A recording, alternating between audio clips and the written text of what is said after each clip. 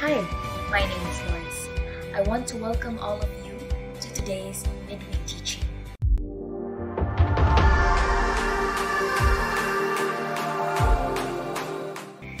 If this is the first time you've joined us, thank you for joining us and welcome.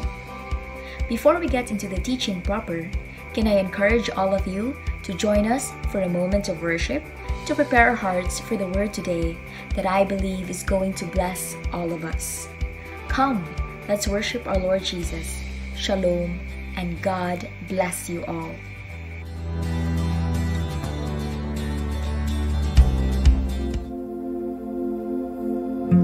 Holy Spirit, we welcome you. Move in our church. Move in this place. Hallelujah. As the Spirit was moving over the water, Spirit come move on us. Come rest on us. Come rest on us. As the Spirit was moving over the water, Spirit come move on us. Come rest on us. Come rest on us.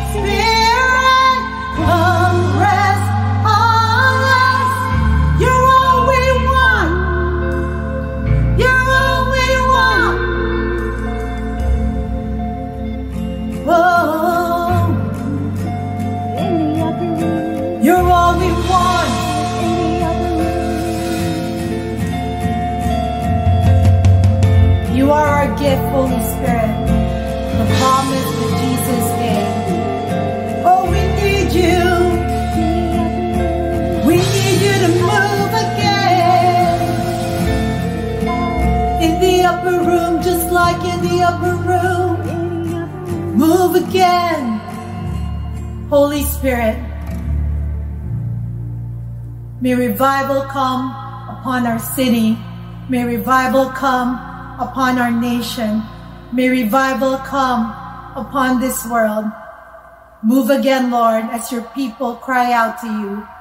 Come rest on us, Holy Spirit.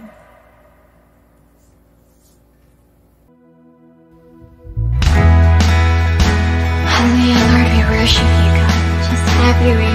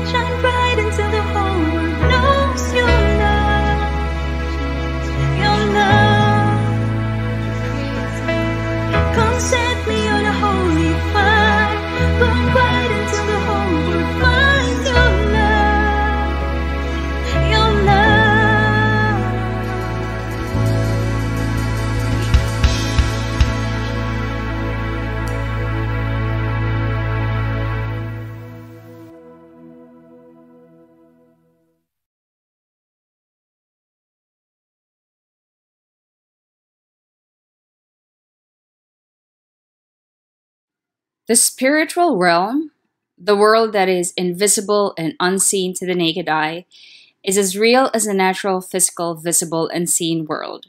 In fact, what is in the spiritual is more real than what is in the natural world. What we see with our eyes today is temporary, it will all pass away. But everything that is in the spiritual is eternal, meaning it will last forever. And this is why the Bible talks about a second death. Our passing away from this world is simply an end to our mortal bodies, our house. But who we are, our spirit, our spirit goes on. So when the Bible talks about eternal life, it means there is also eternal death. When you became born again, it does not mean that you gained an extension of your existence. Rather, it means your existence after this temporary world will be an eternal existence in a state of life, meaning no sickness, no pain, no disease. The ones who are not born again in the Spirit will still have a continued existence after this temporary world, but theirs will be an eternal existence in a state of death, non-stop burning in hellfire, non-stop suffering from all diseases and sicknesses, non-stop suffering from all the curses. I mean, aren't you glad Jesus came to redeem you from all of those? The physical world is temporary, the spiritual world is eternal. Now, we all have to understand that the spiritual world overlaps with the physical, natural world, and what happens in the spiritual affects the physical. A lot of things happening around us are effects of what has happened or what is happening in the spiritual world. The spiritual world is as active as the physical, natural world. There are spirits at work that we we don't see with our naked eyes. But don't be afraid. The greatest, most powerful spirit there is lives and dwells in each of us, born again children of God, permanently and forever. And he is greater than all other spirits around us, even greater than all the angels, which are spirits uh, around us too.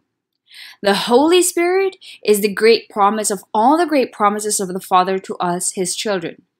In Luke, after his resurrection, Jesus spoke of the Holy Spirit as the promise of my Father, who is power from on high.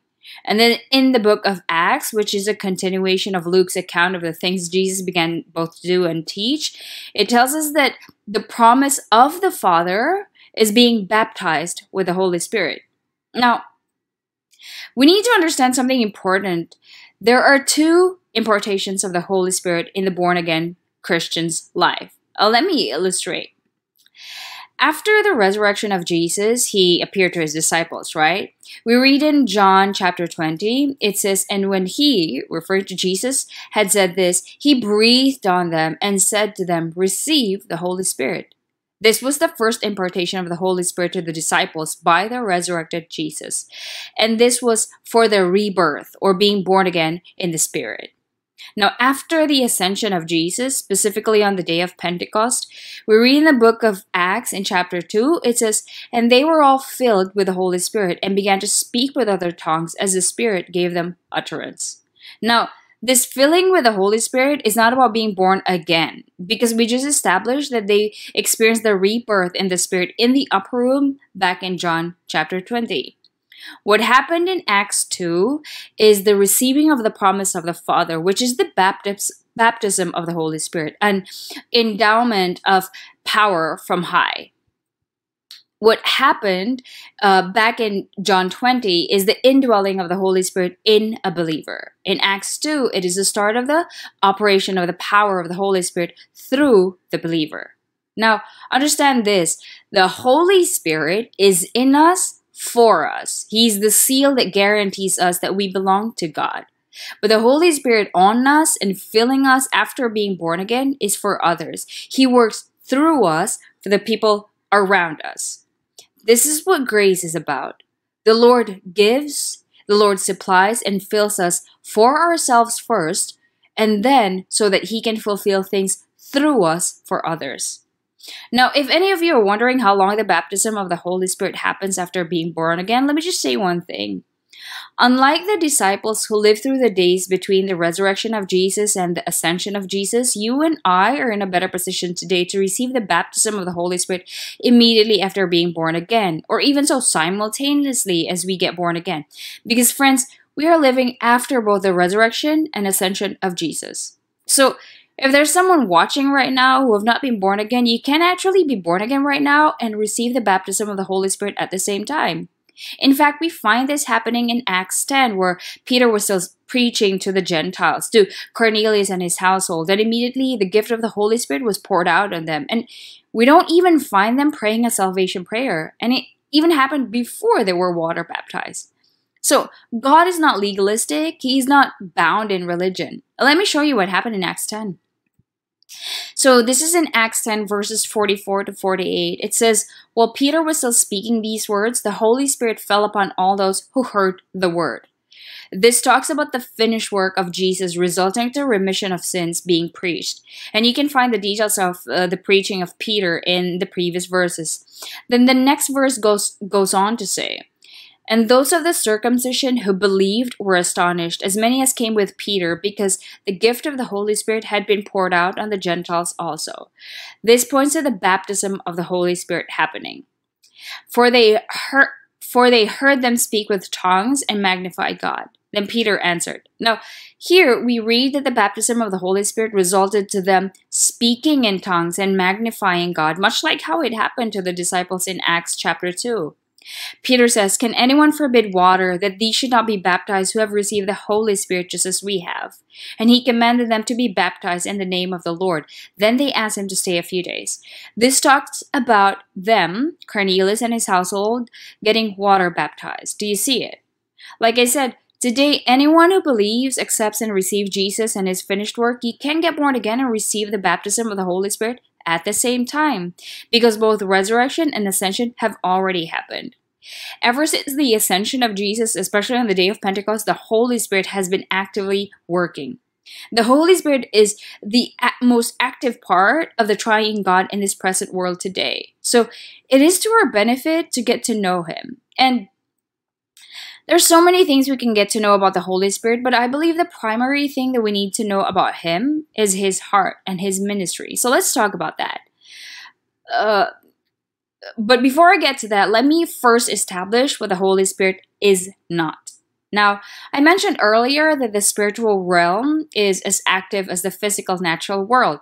Always remember that the spirits that come from the enemy are always against you, they hate you but that the Holy Spirit is for you. The most powerful Spirit is for you. In the battle between good and bad, the Holy Spirit is always on your side. He will actively fight for you if you let Him. Please understand that the Holy Spirit is one with the Father and the Son, which means if the Father and the Son do not force favor and blessings on you, so will the Holy Spirit not force anything on you. He is as much a gentleman as the Father and Jesus are. If you don't employ the Holy Spirit, He will not force you to take advantage of His power and might. Now, if we study the Bible carefully, we get a glimpse of some of the spirits out there and what their specialties are. In the Gospel of Luke, it tells us about the spirit of an unclean demon.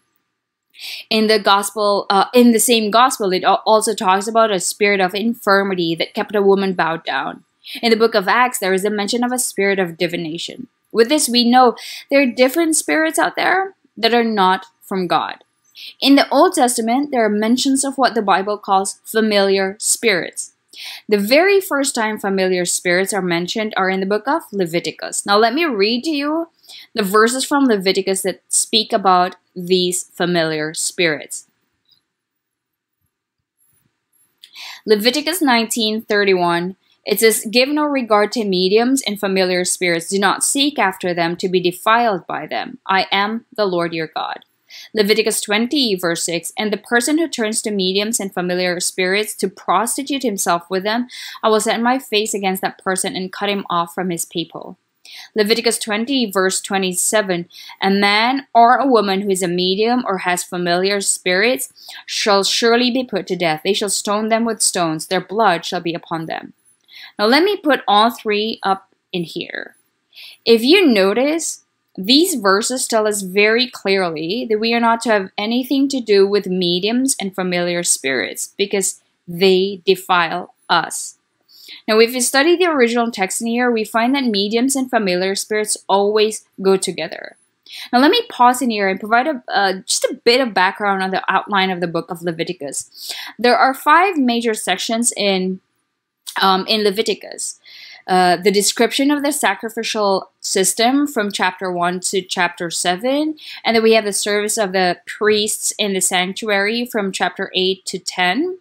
The laws of impurities from chapter 11 to chapter 16. The holiness code from chapter 17 to 26.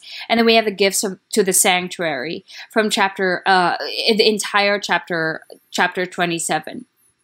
Okay, so the three verses we just read now that talks about familiar spirits, they belong in the holiness code section. Now remember, in the Gospels, how when Jesus walked the earth, he brought the law to heaven's standards, to its most pristine standards. Now, please, uh, uh, please do not misunderstand the law to only mean as the Ten Commandments. The law covers much more than the Ten Commandments. The law covers all commands and statutes and instructions written in the five books of Moses Genesis, Exodus, Leviticus, Numbers, and Deuteronomy. In fact, the Jews have 613 laws outlined from the book books of Moses. That is the complete law, not just the Ten Commandments. So when Jesus likened getting angry with his with, with a brother without a cause as murder and said that whoever looks at a woman to lust for her has already committed adultery with her in his heart, Jesus is teaching us that the standards of the law, the entire law, is not met in the outward display of behavior. Jesus is teaching us that there's much more to the requirements of the law than just doing the physical act. Jesus is teaching it uh, that, that you don't have to stab someone to commit murder, but that hating without a cause is murder.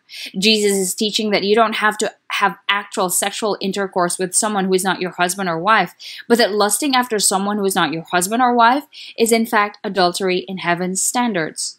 So, keeping what Jesus taught about the standards of the law, we understand that these instructions to never have anything to do with mediums and familiar spirits have much more to this. And keeping what Jesus taught about heaven's standards of the law, we understand that these commands are not only fulfilled by not going to a medium or someone who practices calling up the dead, there is more to this. Now, to better understand what going to a medium and familiar spirits look like, uh, especially in the New Covenant, let's first talk about the account of King Saul. At the time when he had already been rejected by God and David had already been anointed king, but is currently on the run from Saul, who is obsessed at killing David. And also at that time, the prophet Samuel had died. 1 Samuel chapter 8 verse 3 Now Samuel had died and all Israel had lamented for him and buried him in Ramah in his own city and Saul had put the mediums and the spiritists out of the land so Saul did well in this that he put out the mediums and spiritists out of the land we just read three commandment verses from Leviticus, right? Clearly saying to have nothing to do with mediums and familiar spirits. So Saul did well. From here, we read that the Philistines gathered together to come against Israel. Saul then inquired of the Lord, but the Lord did not answer him, not by dreams, nor by Urim, nor by the prophets. You know, the problem was that in the Old Testament, there is always a mediator between God, man and God, either a prophet or a priest. But Samuel, the prophet, has just died. So whoever the prophets that Saul went to were not prophets ordained by the Lord to speak to, to, to Saul. And six chapters prior to this, in uh, 1 Samuel chapter 22, Saul had killed the priests at Nob, except for Abiathar, who escaped with a linen ephod. And in the Old Testament, do you know that it is by the ephod and through a priest can one inquire of the Lord? So pretty much Saul had lost all means to get guidance from the Lord. No prophet, no linen ephod administered by a priest. See, we often fail to realize how blessed we are that in the new covenant, in, in, in the covenant we now live in, we have direct access to God. We even have the Holy Spirit Himself dwelling in us. Unlike in the Old Testament, where the Spirit of the Lord just comes on a person and goes, in the new covenant, God Himself bound Himself to a covenant saying, I will never leave you nor forsake you. And He places His very own Spirit in everyone who receives His Son Jesus and gets into a covenant with Him through His Son. I mean, praise God for Jesus because if not for Jesus, all of us would be in a predicament like Saul where we find ourselves abandoned. Praise God for Jesus who made it possible for us to be in an eternal covenant, an eternal communion and fellowship with God. We now get to enjoy the ever present presence of God because He Himself said, I will never leave you nor forsake you. So, Saul in here, Saul got desperate that he turned back to mediums, the very ones he put out from the land. We read in Samuel 28, um, verse 7 to 8, it says, Then Saul said to his servants, Find me a woman who is a medium, that I may go to her and inquire of her.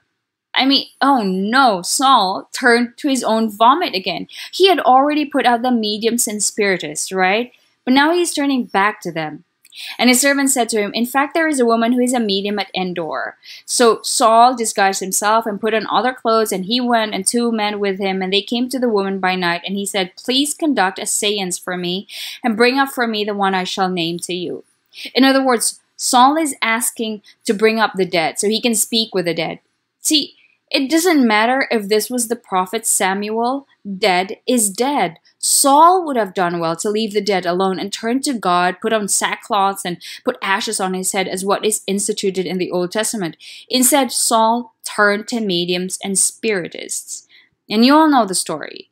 Even before the woman who's a medium could conduct a seance, the prophet Sam- Samuel came up, and guess what Samuel pronounced again to Saul?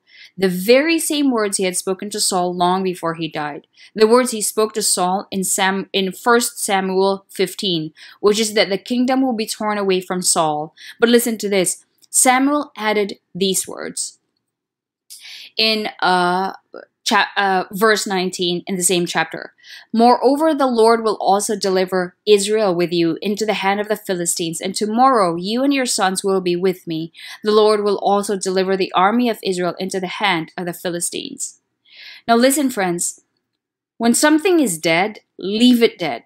Because if you notice, there are three proclamation of dooms in differing levels and areas here. Now, let me break them out so it's easier for all of us. The first one is the loss of land.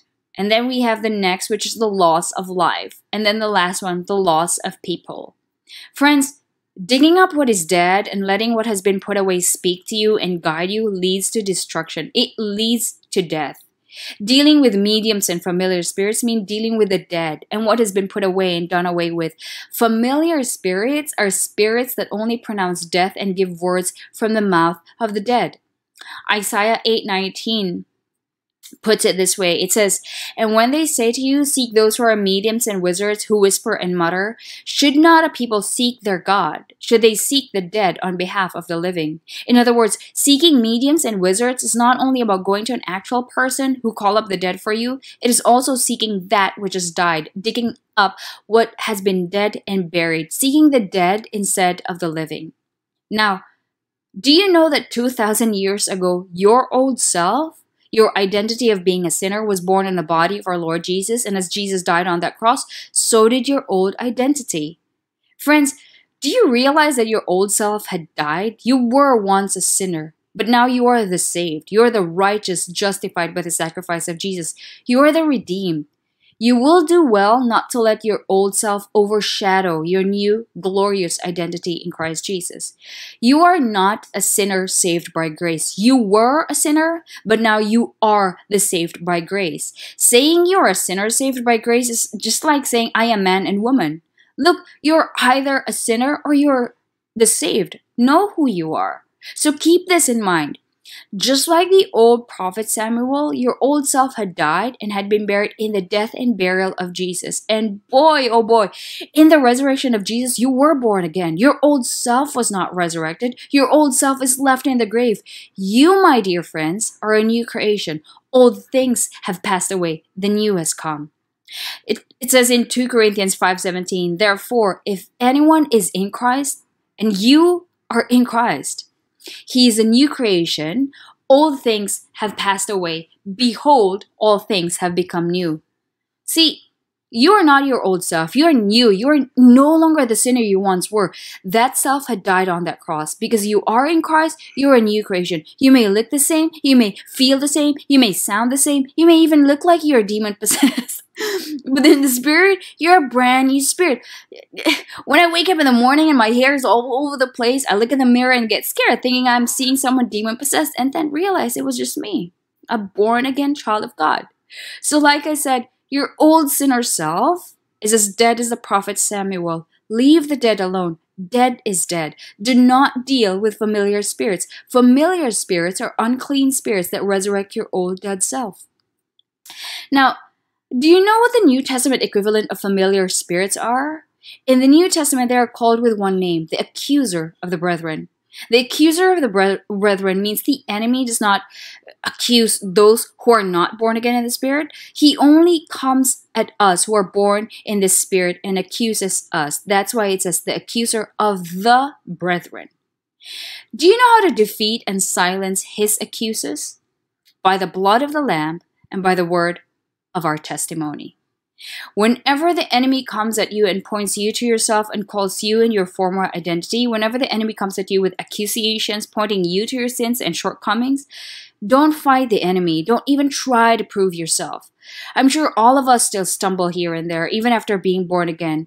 But what should we do? We simply turn to the Father and say, Thank you, Father, that even if all those are true, that I did this and that because of the blood of Jesus shed for me, I am the righteousness of God in Christ Jesus. That's your word of testimony, testifying of what Jesus has done for you. All right? I need all born again children of God to listen. Accusing you of sin and convicting you of sin is not the work of the Holy Spirit. I repeat, accusing you of sin, pointing you to your old self, pointing you to your sins, and convicting you of sin is not the work of the Holy Spirit. Now, I can just feel in the spirit some naysayers who would say, but Riva, Jesus himself said the Holy Spirit will convict us of sin. So let's talk about the Holy Spirit and what Jesus actually said, because the words of Jesus had been taken out of context. John 16, uh, verse 8. These are the words of Jesus about the Holy Spirit. And we'll, uh, and that's going to be up until verse 11. And when he has come, he will convict the world of sin and of righteousness and of judgment. Jesus talking about the Holy Spirit here. Now, some of you probably are going, there you go, there you go. The Holy Spirit will convict us of sin. Now, friends, let's keep reading because Jesus is not done talking. Notice the colon Jesus goes on to specify the convictions. Jesus says, of sin, because they do not believe in me, of righteousness, because I go to my Father and you see me no more, of judgment, because the ruler of this world is judged. To put these things into context, let us remember that these words were spoken by Jesus in the upper room on the night before he died on the cross. And in the upper room, only disciples were present. Judas, who betrayed him, was already out at this point.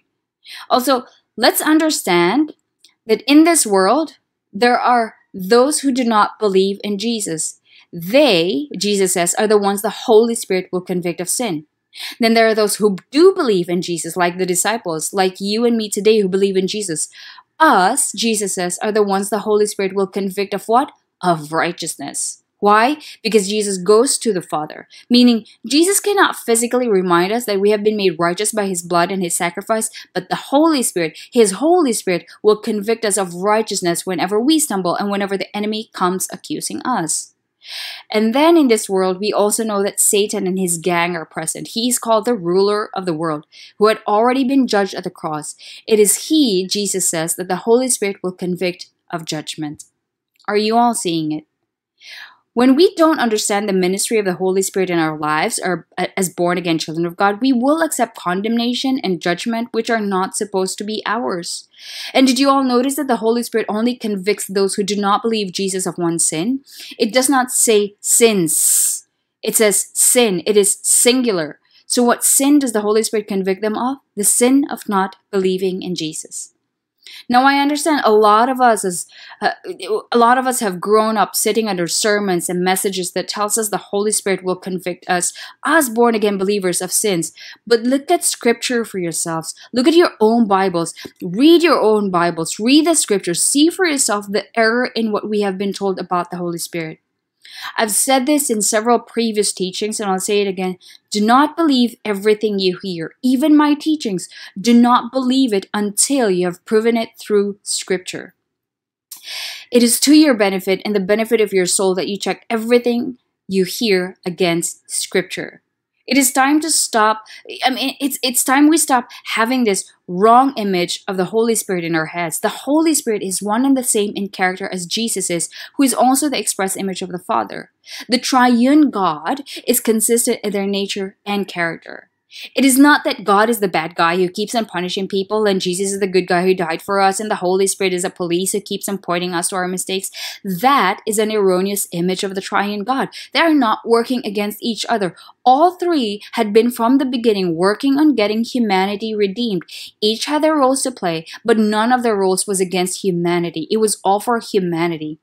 But of course, before Jesus died, sinful actions had to be punished because that is what being just and righteous is. And our God is holy, just, and righteous. So you see the punishments on sins in the Old Testament. But that is not all God is. Sin is sin, and sin had to be punished. But let's not forget the Father Himself sent His Son, His own Son, so that once and for all the entire sins of the entire humanity can be punished at the cross in the body of our Lord Jesus Christ instead of ours, instead of yours and mine.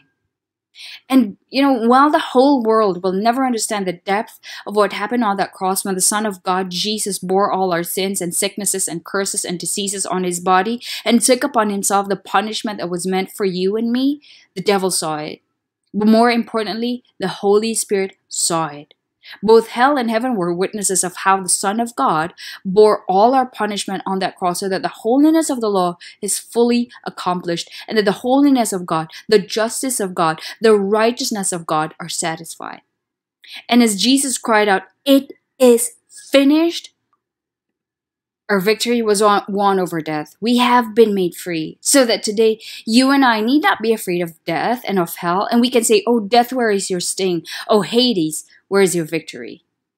Today, my dear friends, when the enemy comes at you, when familiar spirits who are revealed in the New Testament to be the accuser of the brethren come to you and accuse you and point you to your sins, Hear the Holy Spirit who dwells in you. Hear the Holy Spirit say, You are the righteousness of God in Christ Jesus. And agree with the Holy Spirit and confess the same, because He is the Spirit of truth.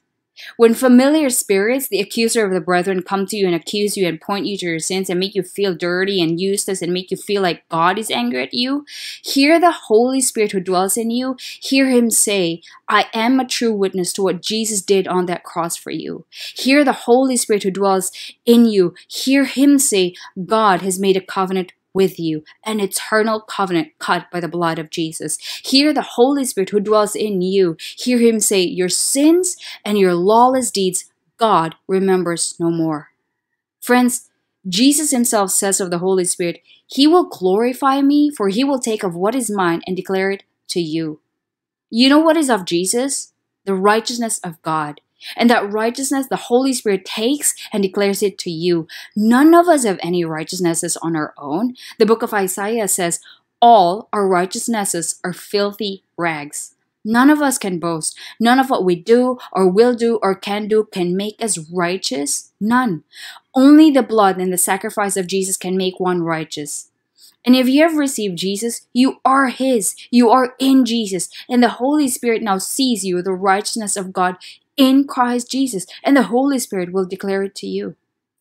Friends, the Spirit or spirits that come from the enemy, the accuser of the bre- brethren, function as familiar spirits. They dig up your old self that has died and was buried. Those spirits are not from God.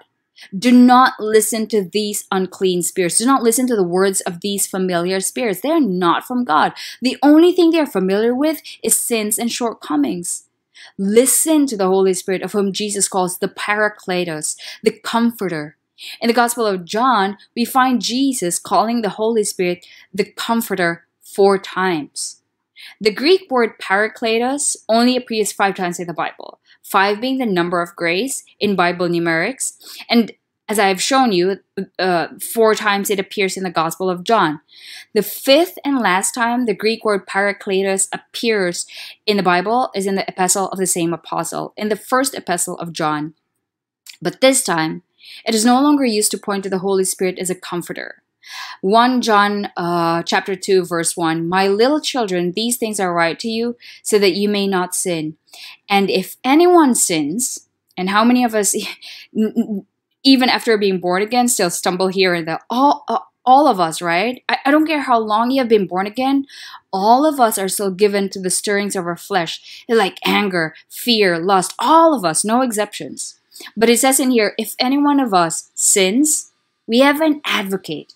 And the word advocate in here is the Greek word parakletos. The same Greek word used to point to the Holy Spirit as comforter is now used to mean advocate. Advocate with the Father, who? Jesus Christ the righteous.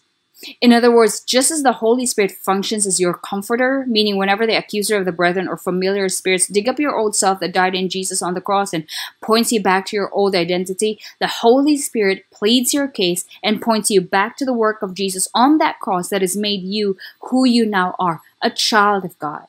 The Holy Spirit reminds you of that, and at the same time, Jesus at the right hand Uh, of the Father, who is judge of all, Jesus functions as your advocate, pleading your case to the Father, saying, Yes, this child has done so and so, but what this child of yours did just now has been condemned 2,000 years ago in my body when I hung on that cross. Jesus says, Father, I pay the price for this child to be judged not guilty in the courts of heaven today because I was punished for that sin. This child is still the righteousness because it's still the righteousness of God because she is in me, Father.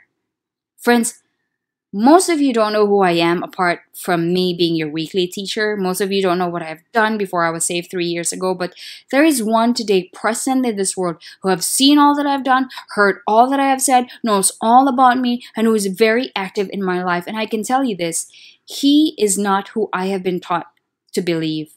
With everything that the Holy Spirit knows about me, He does not come to me pointing me to me. And I don't find in New Covenant Scripture that the Holy Spirit is an accusing voice of the children of God.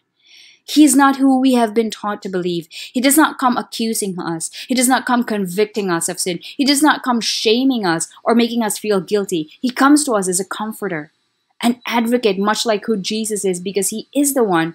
He's one and the same with Jesus, the righteous and the Father.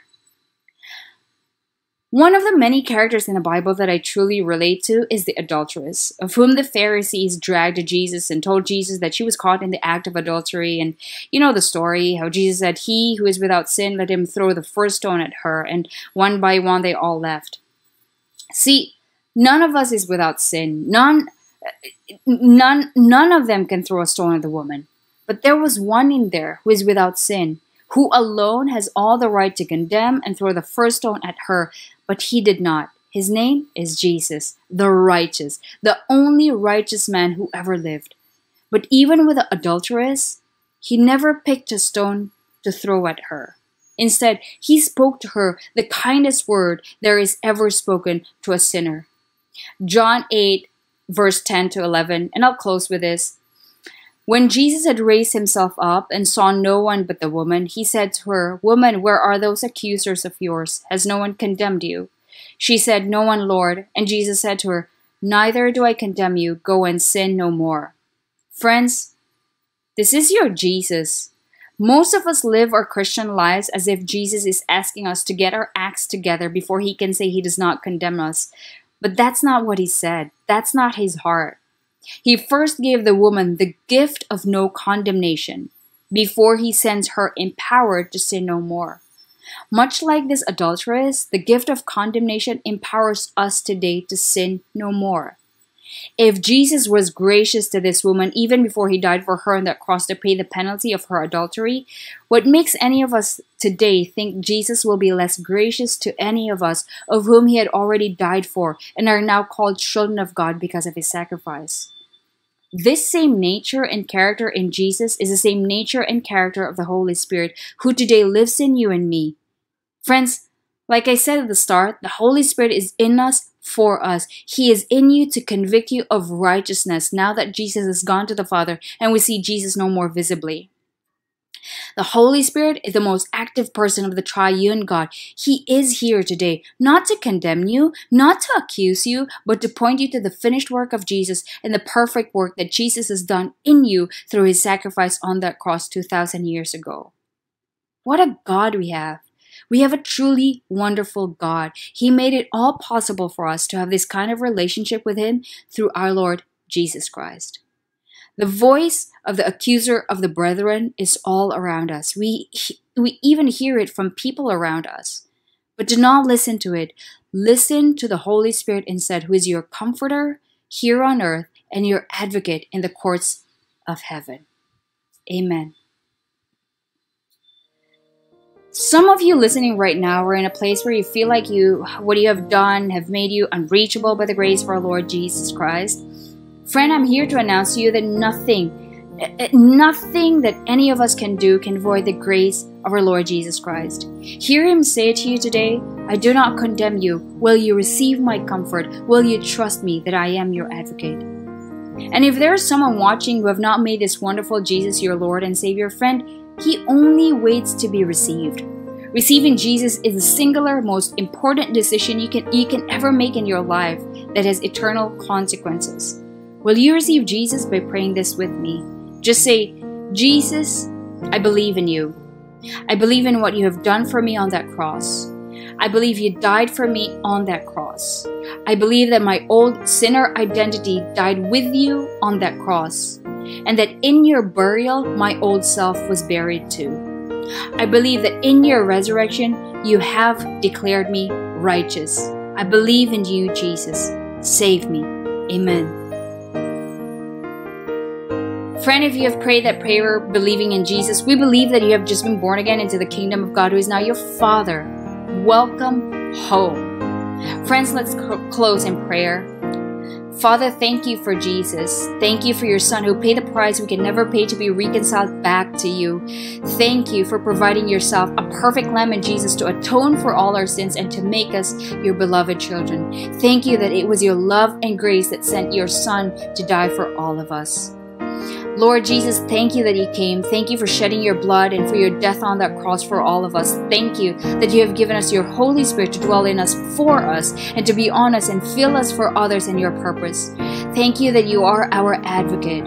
Thank you that it is your righteousness that makes us holy, righteous, and blameless in the courts of heaven. Thank you for your blood, Jesus. Holy Spirit, water the Word of God that had been sown into our hearts today. Continue to reveal to us the nature and character of our God in the person of the Father, the Son, and you, Holy Spirit. Continue to grow us in the knowledge and grace of our Lord Jesus. Teach us more about Jesus. Open Scripture to us. Reveal to us the heart of our God in the glories and excellencies of our Lord Jesus. Amen. Friends, the Lord bless you and keep you, you and your loved ones. The Lord make his face shine upon you and be gracious to you. The Lord lift up his countenance upon you and give you his shalom, peace, and well being. Amen, amen, amen. Friends, the Holy Spirit is a person and He lives in you permanently. The Holy Spirit is the most important person in your life. May we all get to know Him because the Holy Spirit is one and the same with Jesus. He is for you and never against you. God bless you all. Take care and shalom.